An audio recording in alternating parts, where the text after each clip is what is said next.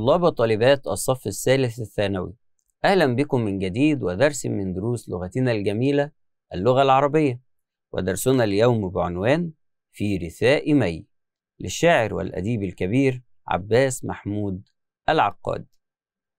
بداية نتعرف على كاتبنا عباس محمود العقاد.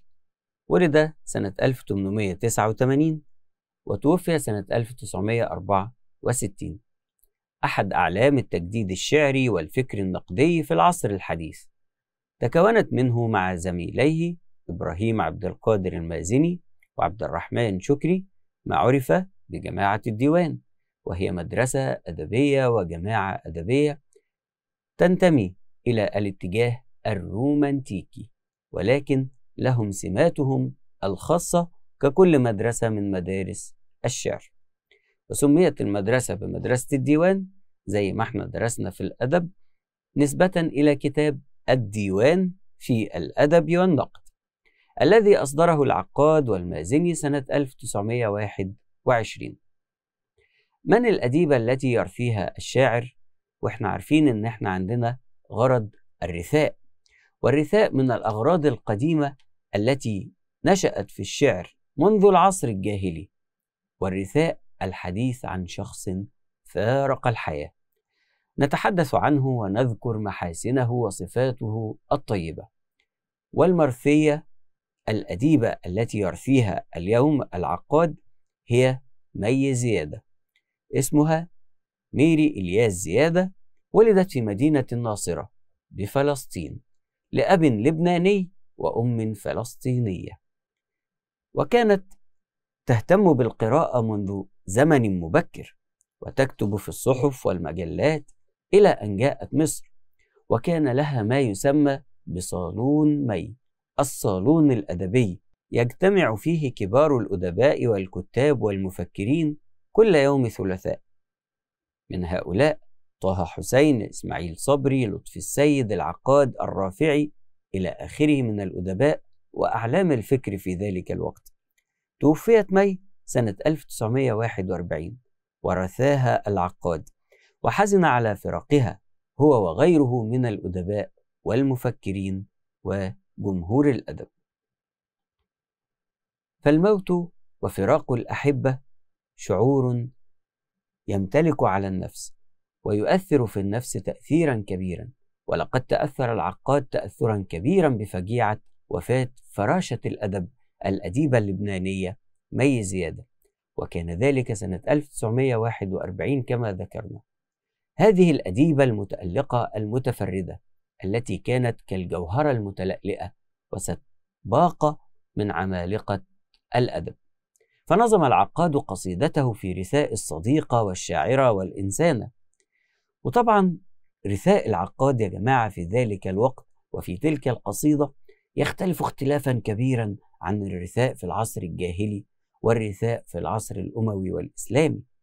فسنتعرف وسنتناول شكلا من أشكال الرثاء لم نتعود عليه في القصائد الشعرية السابقة في العصر الجاهلي والعصر الإسلامي والعصر الأموي. فكيف حدث ذلك؟ هيا بنا لنرى من خلال النص.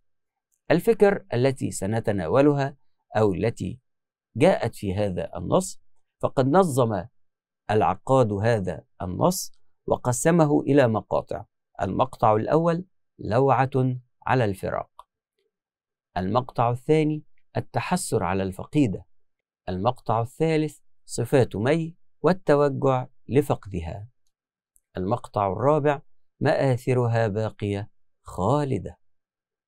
الجزء الأول معنا والمقطع الأول لوعة الفراق أو لوعة على الفراق. يقول الشاعر في المقطع الأول أين في المحفل مي يا صحاب؟ عودتنا هاهنا فصل الخطاب. عرشها المنبر مرفوع الجناب. مستجيب حين يدعى مستجاب. أين في المحفل مي يا صحاب؟ يبدأ الشاعر قصيدته بذلك التساؤل الذي يلفت به الأنظار ويعبر عن حسرته الشديدة لفراق مي. قبل أن نتناول ذلك المقطع بالشرح والتحليل البلاغي نقوم بمناقشة اللغويات. المحفل في العبارة أو في المقطع مرادفها المجلس مكان الاجتماع مكان الحفل أم جميع ما سبق. طبعا كلمة المحفل تحتمل كل المعاني التي ذكرناها فهو المجلس المكان الذي يجتمع فيه الأصدقاء. المكان الذي يحتفل فيه الأصدقاء. مرادف كلمة فصل الخطاب. عودتنا ها هنا فصل الخطاب. إحنا عارفين كلنا إن الخطاب يعني الكلام وفصل الخطاب أي القول المناسب القول العذب أم القول الصواب أم القول المختصر. فصل أي كلام صواب لا خطأ فيه.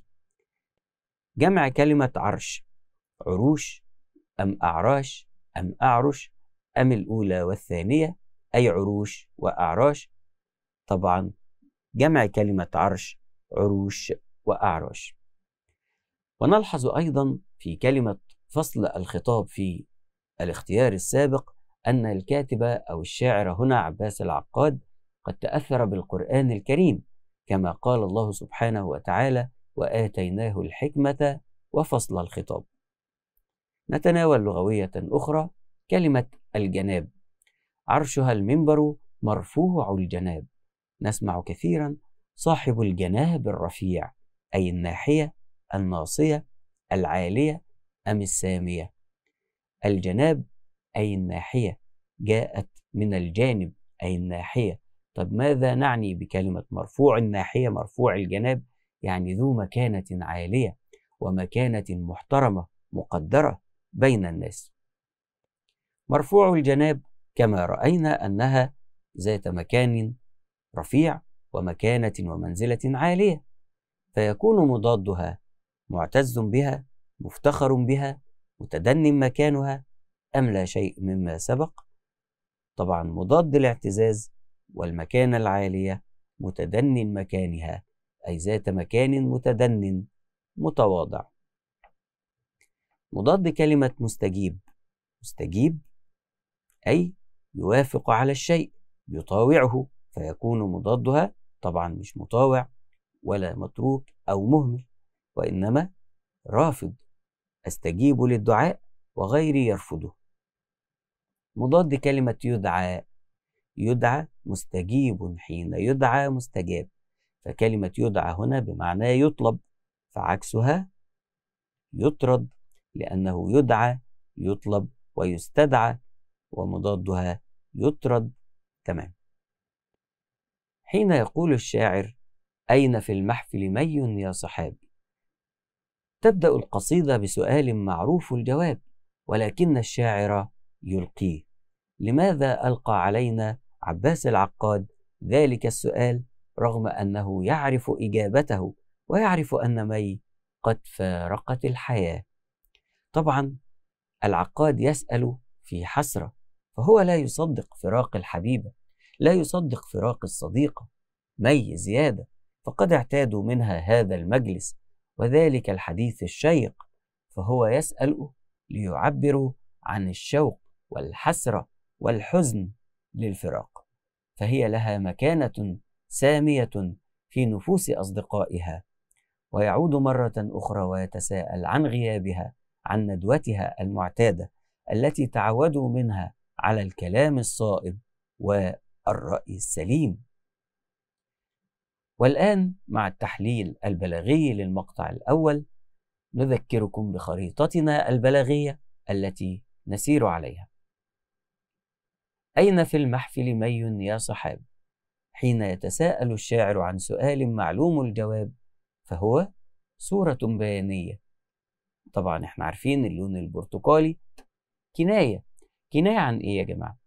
كناية عن حسرته الشديدة لفراق الحبيبة والصديقة مي زيادة. طيب أين في المحفل مي؟ ما نوع الأسلوب؟ طبعا معانا أسلوب إنشائي. طيب الغرض هنا إيه؟ الغرض من السؤال هو عارف هي فين. طب بيسأل ليه؟ فين مي؟ قولوا لي فين مي؟ بيتحسر على فقدها. فهو إنشائي استفهام الغرض منه التحسر وإظهار الفجيعة. كذلك يا صحاب أسلوب إنشائي أيضا. غرضه التحسر نوعه نداء بينادي أصحابه. طيب والنداء لما يكون لأشخاص أصدقاء مقربين يبقى الغرض منه الالتماس وفي نفس الوقت إظهار الحزن والتحسر. طيب كان المفروض يقول أين مي في المحفل؟ يبقى أنا عندي هنا أسلوب إيه؟ أسلوب قصر يفيد التخصيص والتوكيد. مقدم إيه على إيه؟ الجر والمجرور. المفروض أين مي في المحفل؟ فتقديم الجر والمجرور هو أسلوب قصر يفيد التخصيص والتوكيد وهذا من الأساليب المهمة كثيرة المجيء في الامتحان. السطر التالي عودتنا هنا فصل الخطاب. إيه الكناية في كده؟ شايفين قدامنا إنها متلونة بالصورة البيانية التي تدل على الكناية. عودتنا ها هنا فصل الخطاب. تعودنا من مي على الكلام الصواب. لما حد يكون كلامه صواب وكلامه جيد وكلامه مفيد فلا بد أنه ذو عقل راجح. فهي كناية عن رجاحة عقلها وحسن وجمال حديثها. وأيضا في أسلوب قصر. طب فين بقى يا ترى بالنفي والاستثناء. ولا تقديم ما حقه التأخير. تعالوا نشوف كده. عودتنا ها هنا. وبعد كده قال لي فصل الخطاب. آه يبقى كان الترتيب يجيب لي المفعول به الأول. عودتنا فصل الخطاب ها هنا. يبقى تقديم الظرف على المفعول به فهو أسلوب قصر يفيد التخصيص والتوكيد. عرشها المنبر مرفوع الجناب. يقصد به مجلسها فالعرش هو المجلس الذي تجلس عليه مي والمنبر هو المكان الذي يقف فوقه الإمام والخطيب المفوه فهنا تشبيه بليغ. الشاعر هنا يا جماعة شبه عرشها اللي هو مجلسها بالإيه؟ بالمنبر. يبقى معايا تشبيه. وتشبيه بليغ. ليه بليغ؟ لأن أنا عندي المشبه والمشبه به. ما عنديش أداة تشبيه. ولا عندي وجه شبه. يبقى إذا شبه عرش مي أو مجلسها بالمنبر ليدل على سمو وعلو مكانتها المنبر ده مكان مقدس يقف عليه الأئمة والخطباء. تمام. طب في أسلوب قصر محطوطة ما بين قوسين أهي. يا ترى إيه القصر هنا؟ لما يكون المبتدأ معرفة اللي هو عرشها والخبر كمان جاي لي معرفة لأنه معرف بالألف واللام يبقى نقول أسلوب قصر بتعريف طرفي الجملة الإسمية يفيد التخصيص والتوكيد طيب عرشها المنبر مرفوع الجناب فيها كناية عن علو وسمو مكانتها. عرشها المنبر مرفوع الجناب استعارة مكنية أيضا شبه العرش وكأنه شخص ذو مكانة رفيعة واحترام كبير وسر الجمال التشخيص. كلمة المنبر من الممكن أيضا أن نعتبرها مجاز مرسل مجاز مرسل آه مجاز مرسل عن الفصاحة والبلاغة علاقته المحلية أو الآلية. فالمنبر هو المحل الذي يصدر من فوقه الكلام أو هو الآلة التي يستخدمها الخطيب في التعبير والفصاحة. مستجيب حين يدعى مستجاب. ما زال العقاد يتحدث عن مي وعن مكانتها. فهي تستجيب إذا طلب منها أن تجتمع بالأدباء والشعراء في صالونها الأدبي البديع وكذلك يستجاب لها إذا طلبت هي الانعقاد لمجلسها وصالونها الشيق البديع. طيب الشاعر يتحدث عن الصالون الأدبي. صالونها مستجيب حين يدعوه أحد ويستجاب له إذا دعا الآخرين.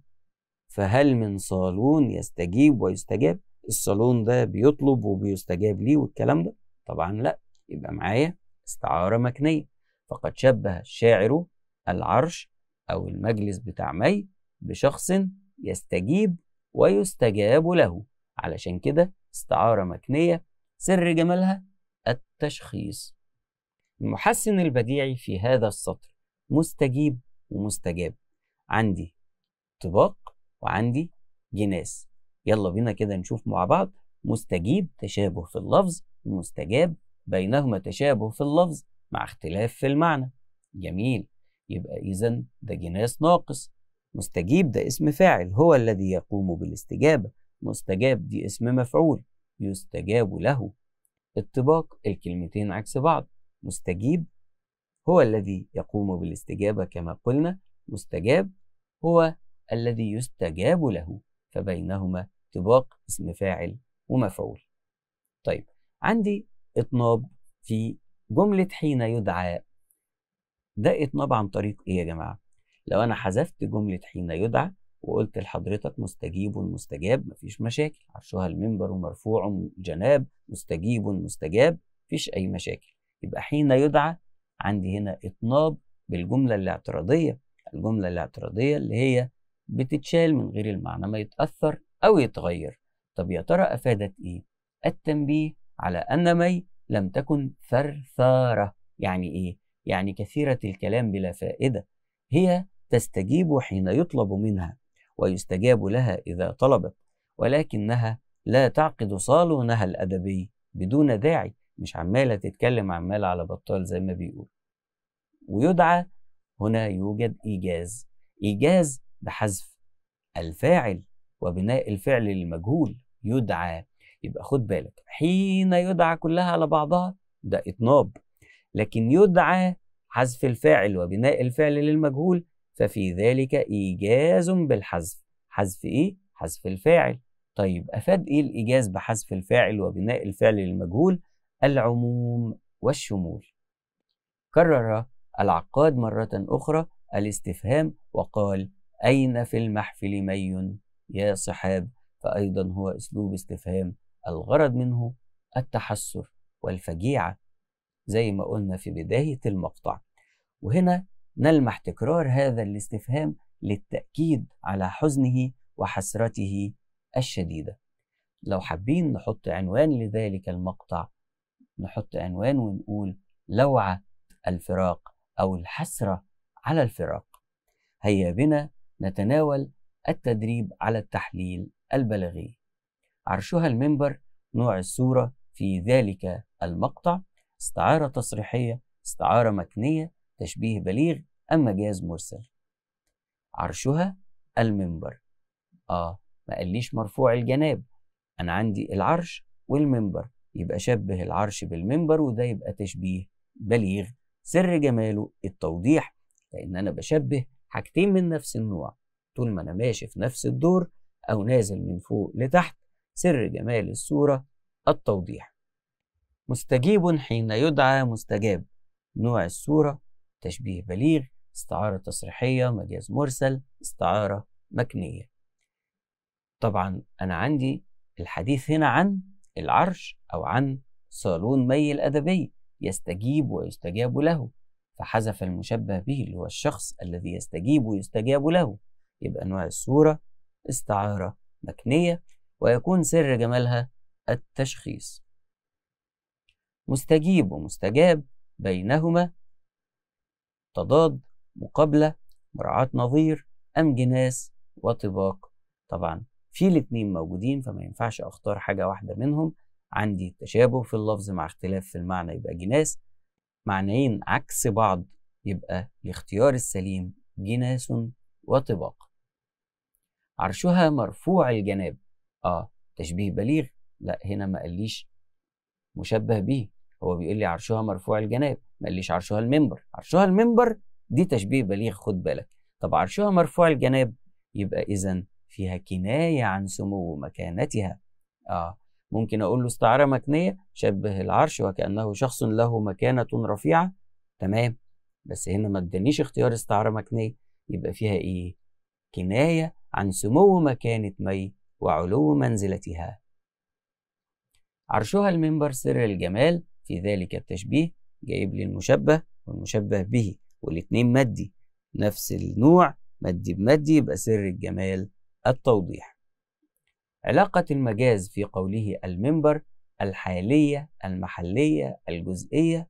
طبعا علاقة المجاز المحلية لأنه عبر بالمحل وهو يقصد الحديث والكلام.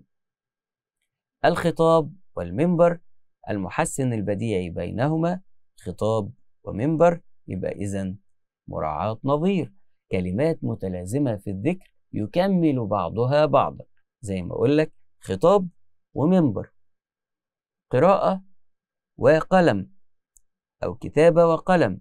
أكل وشرب لعب وكورة. بس بشرط ما يبقاش فيه تضاد ما بين هذه الكلمات. يعني يقول لك السماء والنجوم مراعاة نظير. لكن السماء والأرض لا ده طباق. تمام. حين يدعى إطناب بالتذييل لاعتراض تكرار أم الترادف؟ طبعا حين يدعى إطناب لأن إحنا يقدر نستغنى عنها دون أن يتأثر المعنى يبقى بالاعتراض. يا صحاب أسلوب إنشاء نداء وغرضه تحسر استعطاف تنبيه أم جميع ما سبق صحيح؟ جميع ما سبق صحيح. فهو يريد أن ينبه أصحابه ويستعطفهم وفي ذات الوقت يتحسر على فقدان مي زيادة. أين في المحفل مي؟ أسلوب قصر ووسيلته النفي والاستثناء تقديم ما حقه التأخير تعريف طرفي الجملة أم حرف الجر الزائد. طبعا قلنا المفروض أين مي في المحفل فيكون وسيلة القصر هنا تقديم ما حقه التأخير. لما ذكر الشاعر اسم الفقيدة مي؟ طبعا ذكر اسم الفقيدة ليدل على محبته وحسرته على فقدانها فهو لا يصدق رحيلها. كما يحب التلذذ بذكر اسمها. فحين أحب إنسانا أكون كثير لذكر اسمه وذكره والحديث عنه. بما يوحي التعبير بقوله عودتنا يوحي برجاحة الفكر أنها اعتادت على الفكر السليم والأثر القوي الذي تركته في نفوس الكثيرين. التحسر على الفقيدة. يقول الشاعر سائل النخبة من رهط الندي أين مي؟ هل علمتم أين مي؟ الحديث الحلو واللحن الشجي والجبين الحر والوجه السني. أين ولى كوكباه؟ أين غاب؟ نناقش المقطع مناقشة لغوية.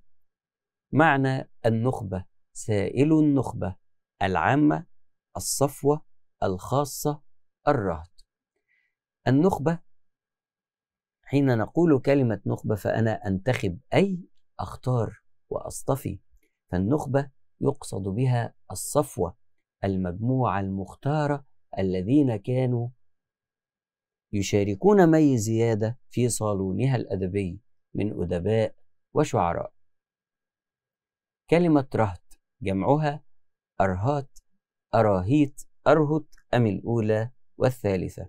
جمع كلمة رهط الأولى والثالثة أي أرهات وأرهط. والرهط هي المجموعة من الناس الذين كانوا يشتركون في مجلس مي مرادف كلمة الندي مجلس القوم ومجتمعهم أم الكرم أم قطرات الماء التي تسقط في الصباح على الورود أم لا شيء مما سبق.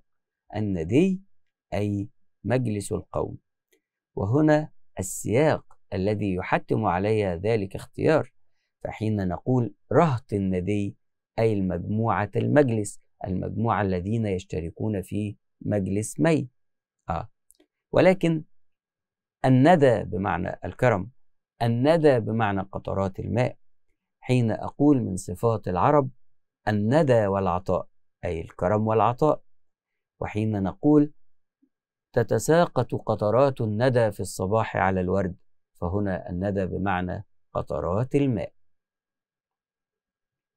مضاد كلمة الحلو الحديث الحلو مضادها الحسن اللذيذ أم المر أم الأولى والثانية الحلو مضادها المر. المراد بالشجي الحديث الحلو هنا طبعا الشاعر يتحدث عن كلام مي وصوتها بأنه حديث حلو ولحن شجي أي مؤثر. آه لحن شجي أي يؤثر في نفس من يسمعه وليس مجرد أنه رائع أو مسموع أو جميل. فجمال اللحن وأن يكون شجيا بأن يؤثر في سامعه. جمع كلمة جبين والجبين هو مقدمة الرأس وجمعها جبن أجبنة أجبن أم جميع ما سبق؟ جميع ما سبق صحيح. أجب وأجبنة وجبن والشاعر هنا يتحدث عن مي ويصف جبينها بأنها ذات جبين حر الجبين الحر والوجه السني ووجهها سني. فمعنى كلمة سني حين نناقشها بعد أن نعرف جمع وجه وجوه أم أوجه أم أوجهة أم الأولى والثانية طبعا وجوه وأوجه. مضاد كلمة السني الخفي المظلم القبيح المكروه. جبين حر ووجه. حين أحب أن أمدح شخصا وخصوصا تلك الفتاة الجميلة مي زيادة. يكون وجهها ظاهرا أم مضيئا مشرقا؟ والسنة من السناء أي الضوء. فالوجه السني أي الوجه المشرق المضيء. فيكون المضاد أحسنتم المظلم. تمام. مضاد ولا يتحدث عن وجهها ذلك الوجه المشرق المضيء. أين ولا؟ انطلق. بزغ. بزغ يعني ظهر. ارتفع أم أقبل. ولا معناها أستنتج معناها من السياق حين يقول الشاعر ولا وغاب فكلمة ولا بمعنى رحل وغاب. إذا يكون المضاد أقبل. شخص غاب وذهب عنا والمضاد أقبل. تمام. يتعرض الشاعر في المقطع السابق إلى صفات مي الحسية. وضح ذلك. حين نرى ذلك المقطع وتلك الأسطر الشعرية التي عرضها العقاد فقد تعرض لصفات مي ولكنها صفات حسية يعني ظاهرية مادية. فهو يقول ما زال شاعرنا غير مصدق أن مي فارقت الحياة ولكنه يتساءل ويصف مي وجمالها وروعتها فيقول أين صاحبة الحديث العذب؟ فحديثها العذب فتلك صفة حسية. صوت ساحر مؤثر صفة صفة حسية. ويصرخ العقاد متسائلا أين مي؟ أين ذلك الوجه الذي يشع بنوره على من حوله؟ أين صاحبة الوجه المشرق الوضاء الجميل؟ فهذه كلها صفات حسية. فصوتها جميل وذات لحن مؤثر وشجي. وجهها حر مضيء مشرق مثل الكوكب الدري الذي يضيء نورا وإشراقا على كل من حوله. فهذه صفات مي الحسية التي ذكرها العقاد في ذلك المقطع. ننتقل إلى التحليل البلاغي. سائل النخبة من رهط الندي. عندي هنا يا جماعة صورة بيانية اللي هي كناية. كناية عن علو وسمو مكانة هؤلاء الذين يحضرون مجلس مي فليسوا من عامة الناس وإنما من صفوة الأدباء والمثقفين. يبقى جملة رهط الندي كناية عن علو وسمو مجلس مي. سائل النخبة خبري ولا إنشائي؟ ده أمر والأمر هنا موجه إلى الأصحاب. يبقى إنشائي أمر غرضه الالتماس بيلتمس ويطلب منهم. أين مي؟ هل علمتم أين مي؟ تكرار ذلك السؤال وهو يعلم إجابته الغرض منه التحسر. الحديث الحلو واللحن الشجي. آه حديث حلو. استعارة مكنية. ليه استعارة مكنية؟ شبه كلامها وكأنه طعام حلو المذاق. يبقى استعارة مكنية شبه الحديث بالطعام الحلو. طب حديث بطعام يبقى سر الجمال التجسيم. واللحن الشجي. في استعارة تصريحية. لأنه شبه صوتها المؤثر صوتها الجميل باللحن العذب المؤثر وصرح بالمشبه به اللي هو اللحن ويبقى استعارة تصريحية. سر جمالها التوضيح أيضا لأنه حين يشبه الكلام أو الصوت باللحن يبقى سر الجمال التوضيح. وفيها كناية عن عذوبة صوتها وجماله. المحسن البديعي في ذلك السطر حديث الحلو اللحن الشجي الحديث والحلو اللحن الشجي يبقى عندي إيه؟ عندي هنا حسن تقسيم. طبعا مش ازدواج لأن الازدواج ده خاص بالنثر. فأنا معايا حسن تقسيم يعطي جرسا موسيقيا تمام؟ طيب حلو ولحن. يبقى اذا عندنا هنا ممكن يبقى جناس ناقص يعطي جرسا موسيقيا. والجبين الحر والوجه السني في عندي كناية واستعارة مكنية. استعارة مكنية شبه الجبين. آه في جبين حر وجبين مستعبد. لا يبقى استعارة مكنية شبه الجبين بشخص حر وسر الجمال التشخيص. الوجه السني استعارة مكنية شبه الوجه وكأنه مصباح مشرق مضيء وسر الجمال التوضيح. يبقى دي الاستعارة المكنية. ومعايا كمان كناية عن جمال مي وجاذبيتها الشديدة. وبرضو عندي حسن التقسيم محسن بديعي الموسيقي بتاعي اللي موجود جبين الحر الوجه السني يبقى إذا حسن تقسيم يعطي جرسا موسيقيا. إلى جانب الإيجاز أي الاختصار بحذف المبتدأ والتقدير حديثها الحديث الحلو واللحن الشجي. أين ولى كوكباه أين غاب؟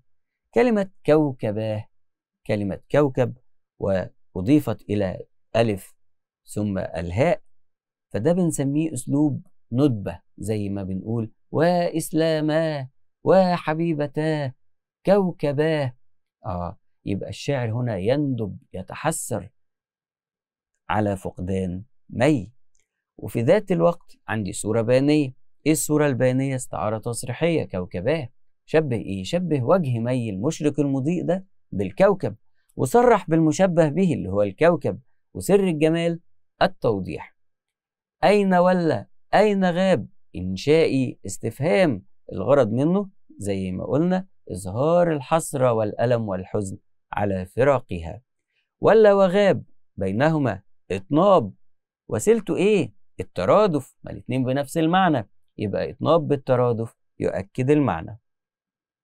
التحليل البلاغي من خلال التدريبات سائل النخبة الغرض البلاغي من الأمر هنا الشاعر بيؤمر أصحابه أمر ما بين متساويين يبقى الغرض الالتماس.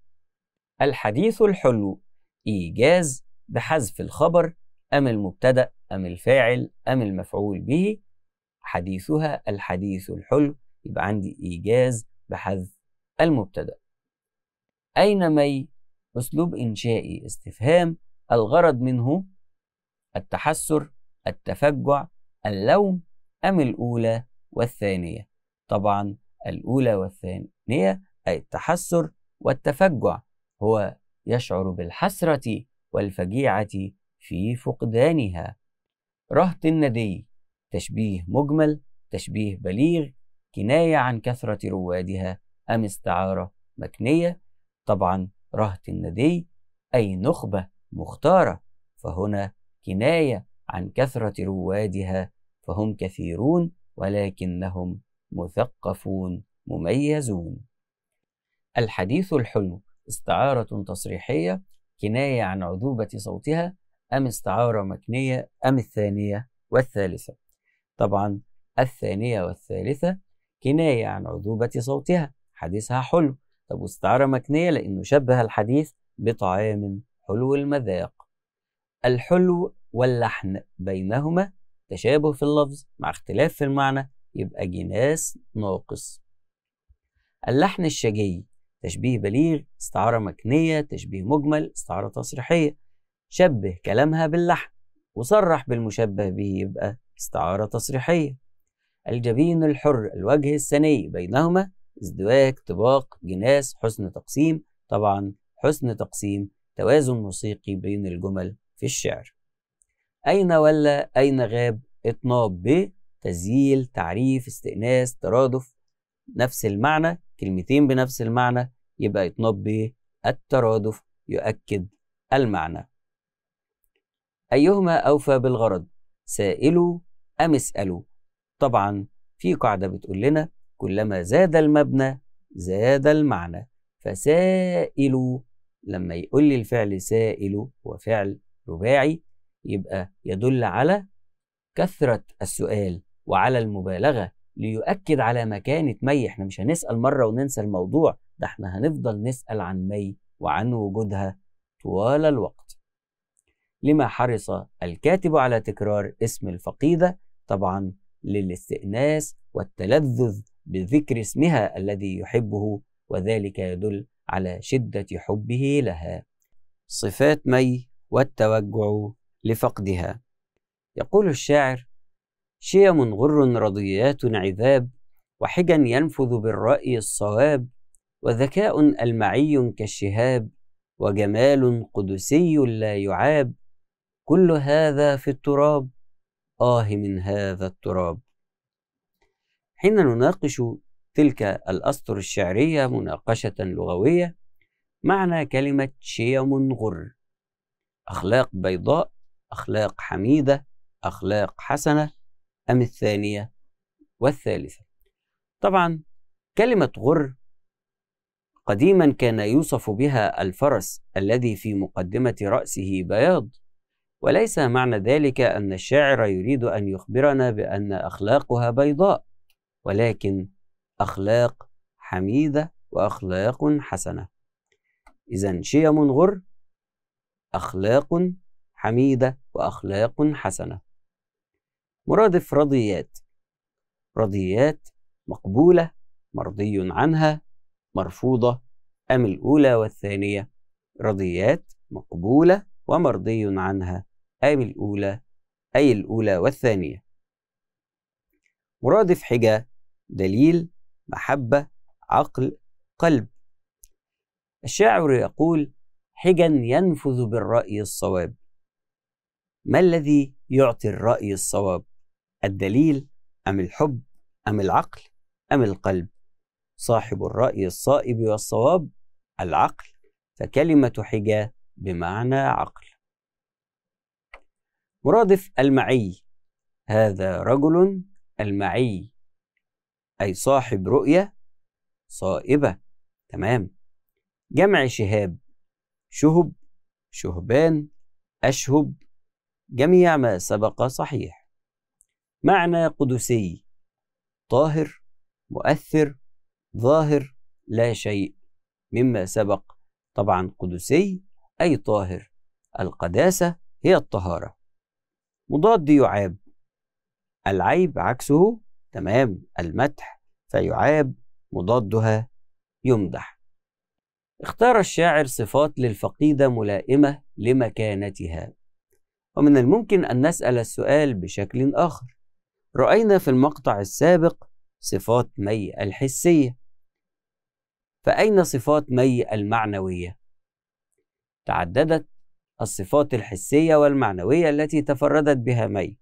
بعد أن ذكر صفاتها الحسية يذكر لنا بعض الصفات المعنوية فهي صاحبة الخلق الرفيع الذي لا تشوبه شائبة. وجعل ذلك الجميع يرضى عنها صاحبة العقل الراجح الرأي السديد الذكاء المتوقد تمام كل هذه الأشياء الجميلة والأخلاق الحسنة أيكون مصيرها في النهاية إلى الموت وإلى التراب؟ هذا ما تحسر بسببه العقاد.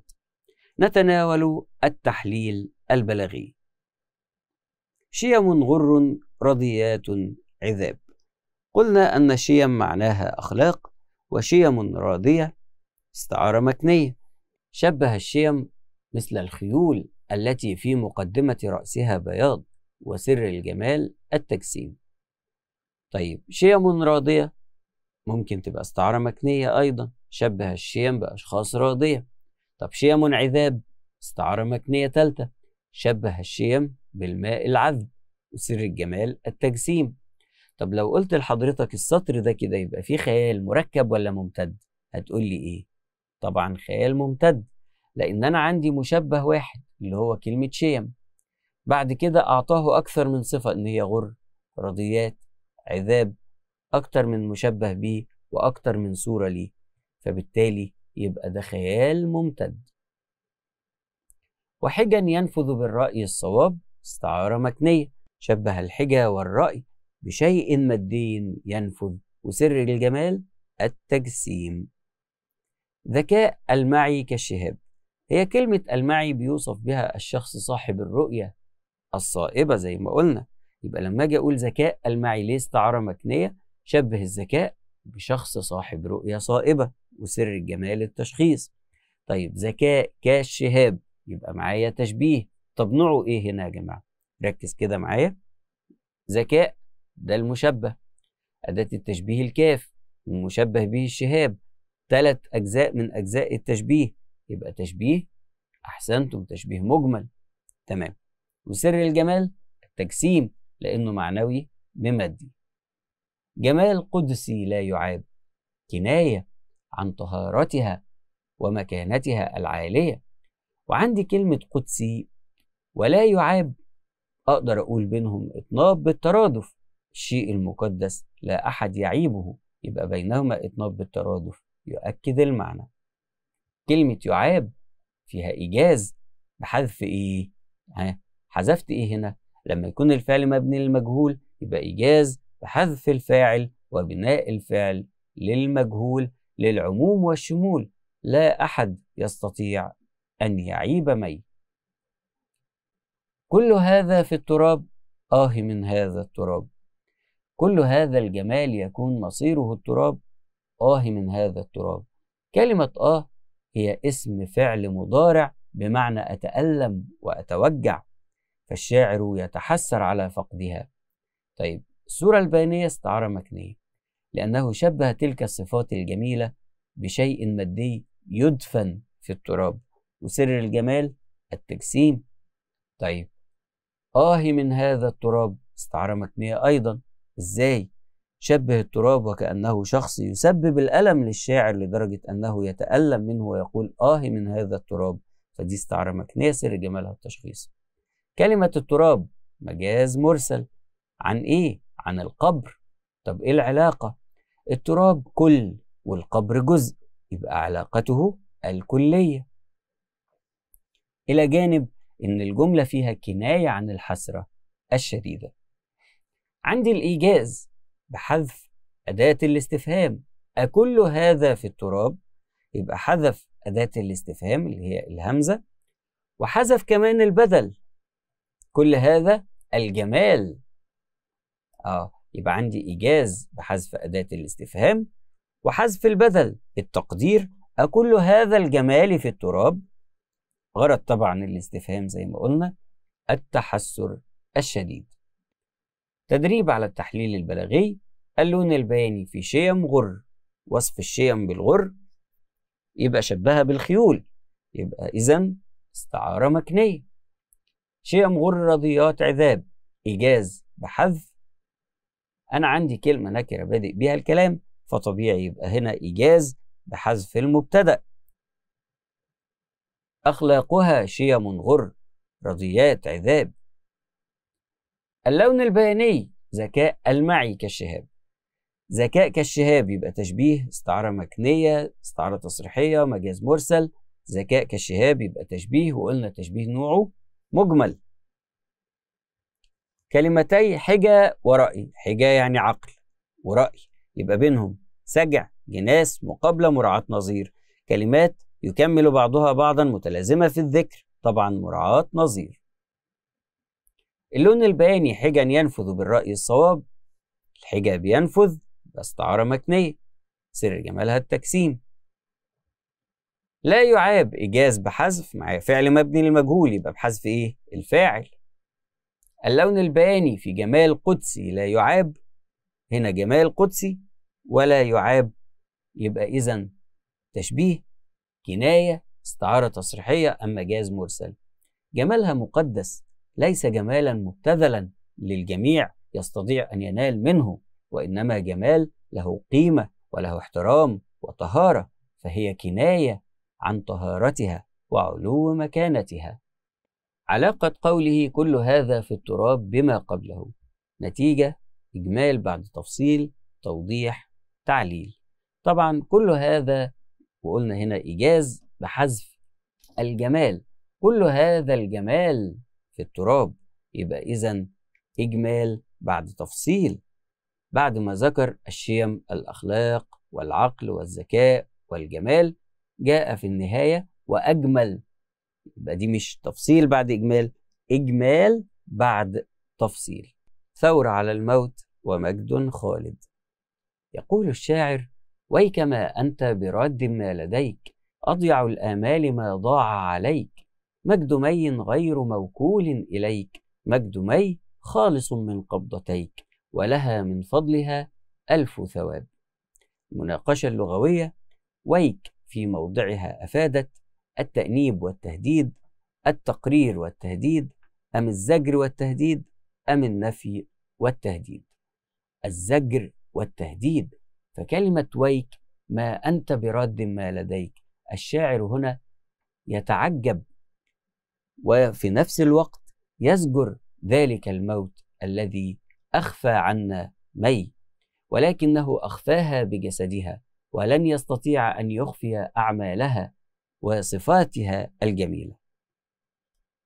مضاد راد آخذ جامع سالب أم مغتصب. راد مضادها آخذ فقد أخذ الشيء ومضادها يرده ويعيده. مرادف أضيع الآمال أفدحها ضياعا أكثرها خسارة أثبتها وأحقها أم الأولى والثانية؟ طبعا أضيع الآمال أي أفدحها ضياعا وأكثرها خسارة الآمال الضائعة التي تخسرها. مضاد كلمة مجد مجد مي غير موكول إليك. المجد هو النبل والشرف فيكون مضاده الخسة والضعة آه أي الحقارة. مرادف كلمة موكول معطى وموهوب مرتهن وموقوف مجدد ومخصص أم متروك ومسند. طبعا مجد مي غير موكول غير متروك ومسند إليك. مش هنسبهولك أيها الموت أو أيها القبر. خالص المراد منها مجد مي خالص من قبضتيك تخلص من قبضتيك فكلمة خالص يكون مرادها نقي أم طاهر أم متحرر أم مرهون خالص في ذلك السياق متحرر من قبضتيك. عرفت منين؟ عندي كلمة قبضة يبقى يتخلص أي يتحرر. جمع كلمة فضل فضول أفضال أفاضل الأولى والثانية طبعا فضل هنا بمعنى الخير وجمعها فضول وأفضال. أما أفاضل فمفردها فاضل. تمام. لا تفارق الشاعر روح التحدي وهو يخاطب التراب. وضح ذلك من خلال الأبيات أو المقطع السابق. الشاعر هنا يتحدى الموت فيقول له زاجرا ومهددا إنك لن ترد وتعيد مي من غيبتها ومن موتها. ولا أحد يأمل في ذلك. ولكن إذا كان الموت استطاع أن يخفي مي بجسدها فإن أعمالها وإبداعاتها الخالدة لا سلطان لك أيها الموت عليها فهي باقية وإنجازاتها ستظل خالدة فلها خير الجزاء والأجر عليها. التحليل البلاغي. وكما أنت برد ما لديك. عندي استعارة مكنية لأن الشاعر يخاطب الموت أو التراب يبقى استعارة مكنية سر جمالها التشخيص. إلى جانب أنا عندي هنا إلباء حرف جر زائد وده لما يجي مع النفي يفيد التأكيد ما أنت براد ما لديك. أضيع الآمال ما ضاع عليك. استعارة مكنية شبه الآمال بشيء مادي يضيع وسر الجمال التجسيم. أضيع وضاع. تشابه في اللفظ مع اختلاف في المعنى يعتبر جناس اشتقاقي ناقص يعطي جرسا موسيقيا. الطباق ما بين راد وضاع شيء مردود وشيء ضائع يبقى طباق رغم إن ده في سطر وده السطر اللي وراه لكن يجوز الطباق مجد مي غير موكول إليك. مجد مي مش هنسيبهولك مش متروك. بس تعرى مكنيه شبه المجد بشيء مادي لا يمكن تركه إلى الموت أو التراب وسر الجمال التجسيم مجد مي خالص من قبضتيك استعارة مكنية. شبه المجد أيضا بشيء يتحرر من قبضة الموت أو القبر. وفي استعارة مكنية أخرى إنه هو شبه الموت بشخص له قبضة. ممكن أعتبر كمان كلمة قبضة كناية عن السيطرة والتحكم. ولها من فضلها ألف ثواب كناية عن إنجازات مي الخالدة الباقية. وطبعا عندي أسلوب قصر بتقديم الجر والمجرور على المبتدأ. التدريب على التحليل البلاغي وكما أنت برد ما لديك. تشبيه بليغ تشبيه مجمل استعارة مكنية أم مجاز مرسل. طبعا الشاعر يخاطب القبر أو الموت يبقى استعارة مكنية سر جمالها التشخيص. ما أنت برد ما لديك وسيلة التوكيد نفي واستثناء حرف الجر الزائد تقديم ما حقه التأخير تعريف طرفي الجملة طبعا حرف الجر الزائد. ما أنت براد لأن أنا لو حذفت الباء هقول ما أنت راد. آه يبقى إذا حرف جر زائد يفيد التأكيد. اللون البياني في أضيع الآمال ما ضاع عليك؟ آمال ضيعة يبقى استعارة مكنية سر جمالها التجسيم ضاع وراد. بينهما سجع جناس طباق مراعاة نظير. كلمتين عكس بعض يبقى طباق يوضح المعنى ويؤكده. اللون البياني مجد مي غير موكول. إليك شبه المجد بشيء مادي لا يترك. وحذف المشبه به يبقى استعارة مكنية. مجد مي غير موكول. إليك مجد مي خالص من قبضتيك. ده إطناب تذييل ترادف تكرار تعليل. جملتين بنفس المعنى يبقى ده إطناب بالترادف يؤكد المعنى. اللون الباني فيه ولها من فضلها ألف ثواب كناية تشبيه مجمل استعارة مكنية مجاز مرسل طبعا مفيش تصوير لكن في دلالة على مكانتها يبقى كناية عن عدة الإنجازات وتعدد المحاسن والأفضال لمي حتى بعد وفاتها. أضيع وضاع محسن بديعي. طباق جناس ناقص سجع مقابلة تشابه في اللفظ مع اختلاف في المعنى جناس ناقص. والتعليق على النص وتدريب على نص متحرر من نفس المدرسة. نظرات على النص اللون الأدبي من الأدب الوجداني لأن الشاعر يناقش فكرة عاطفية يعبر عن مشاعره. الغرض الرثاء وهو غرض قديم في الشعر. ولكن طريقة تناوله هي التي حديثة. المدرسة الشعرية مدرسة الديوان. سمات مدرسة الديوان في النص شيوع روح الرومانتيكية فالشاعر يعبر عن ذاته ومحبته لصديقته الراحلة ذاتية التجربة فهو يعبر عن تجربة ذاتية وليست عامة. الوحدة العضوية الجانب الذهني والفكري والتعبيري العقاد لما جه يتكلم عن مي زيادة بدأ يوصف صفاتها العقلية عن رجاحة عقلها عن ذكائها عن تفكيرها السليم والسديد. آه يبقى إذا هنا الجانب الذهني والفكري واضح. لو عملنا مقارنة ما بين طريقة رثاء العقاد وحديثه عن مي زيادة وبين مثلا خليل مطران وهو يتحدث عن حبيبته الراحلة أو حبيبته التي ابتعدت عنه سنلحظ الفرق فالعقاد الناحية الفكرية غلبت عليه. لم يتحدث عن الشوق والحنين المبالغ فيه والكلام ده لا تحدث عن إيه؟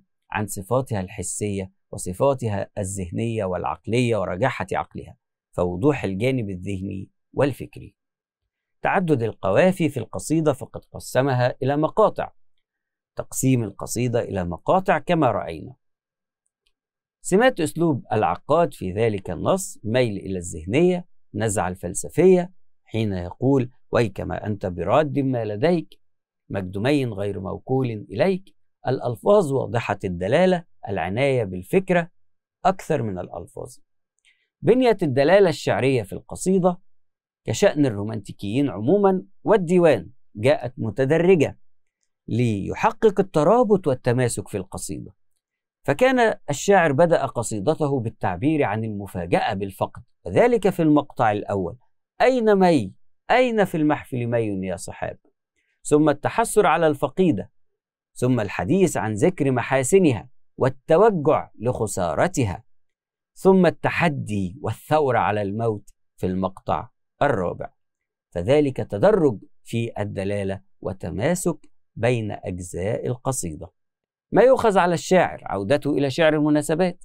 ممكن يجيب لي شعر مناسبات للعقاد ويقول لي إيه المأخذ اللي ممكن نأخذه على العقاد؟ إن هو انتقد شعر المناسبات عند المدرسة الكلاسيكية ورغم ذلك مارسه وكتب فيه. ميله إلى الحكم الشعرية التي عابها هو ورفاقه على شعراء الإحياء من قبل.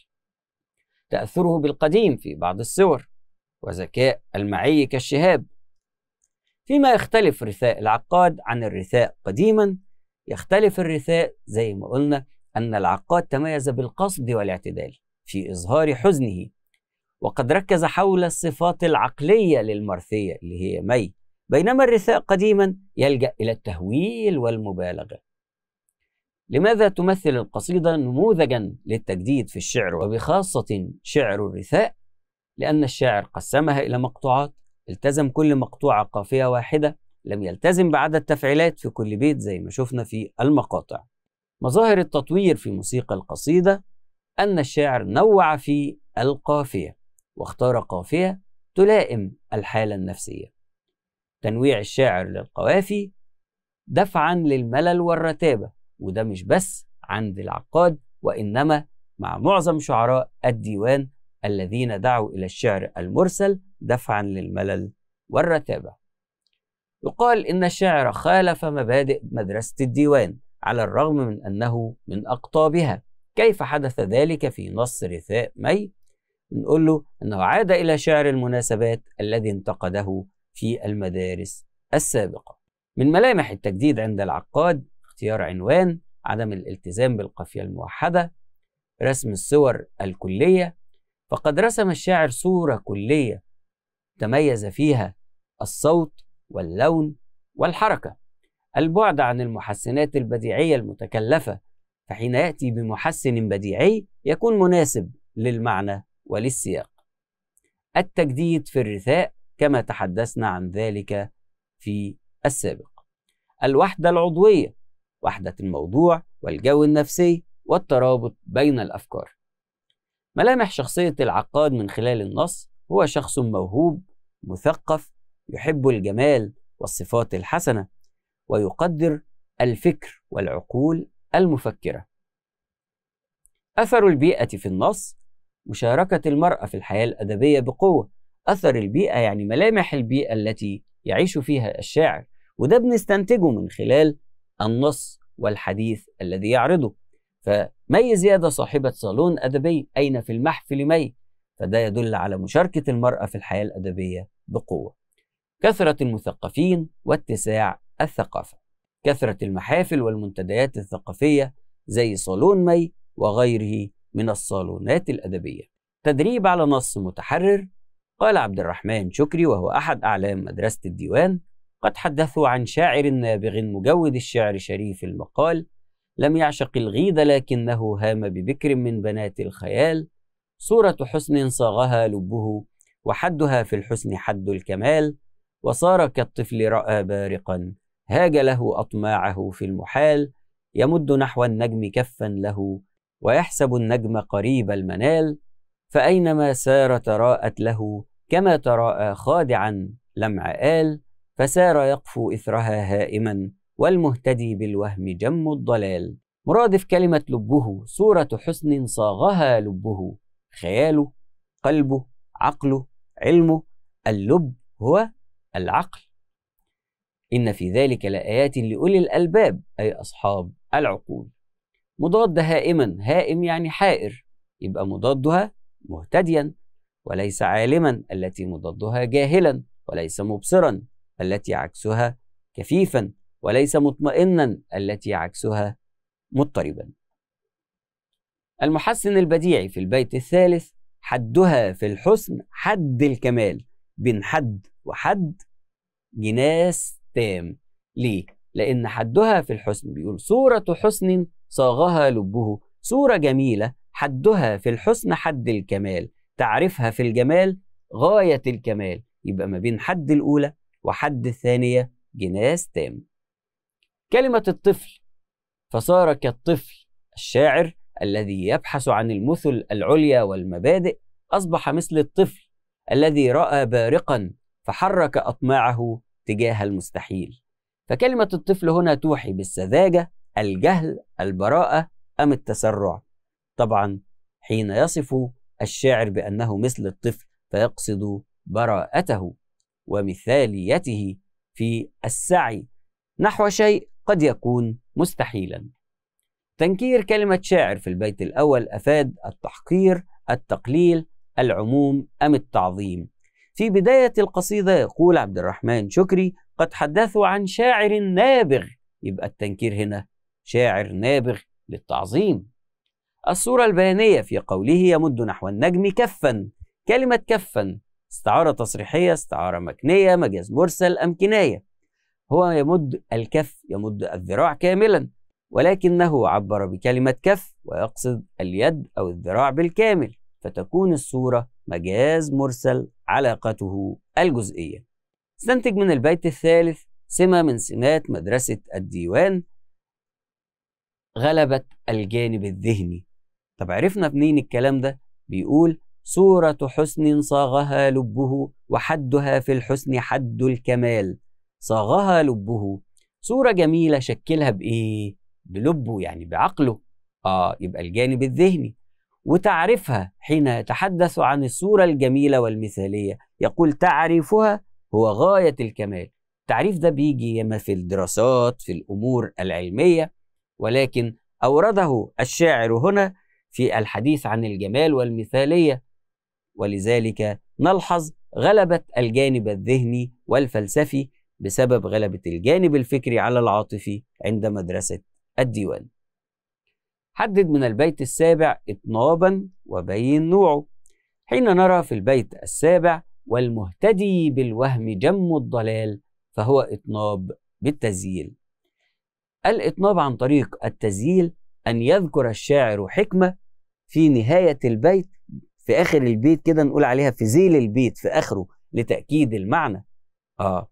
لأن الشاعر يتحدث أنه يسعى إلى الأشياء المثالية ولا يستطيع أن يدركها وفي النهاية راح قايل والمهتدي بالوهم جم الضلال أي كثير الضلال.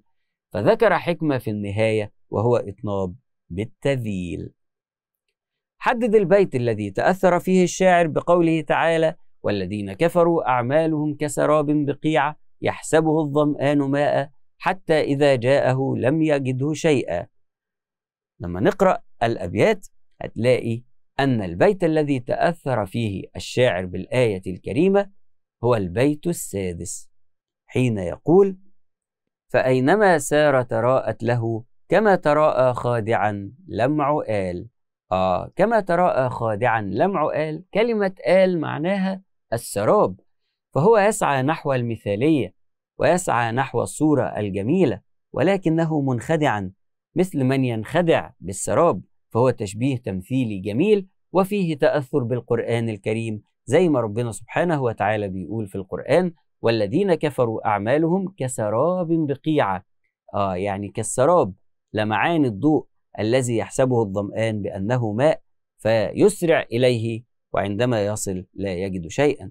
كذلك يشبه الشاعر الإنسان الذي يسعى نحو المثالية ولا يستطيع أن يدركها بأنه يسعى نحو السراب كما تراءى له خادعا لمع آل.